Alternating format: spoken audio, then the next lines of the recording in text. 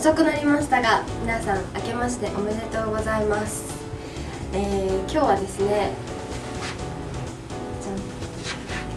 えージュエリーベストドレッサー賞という賞をいただきました、えー10代10代部門ということで10代代表で、えー19回なんですけれども、えーまあ、きっと同い年の賞を、えーいただいて10代最後のいい思い出になりました、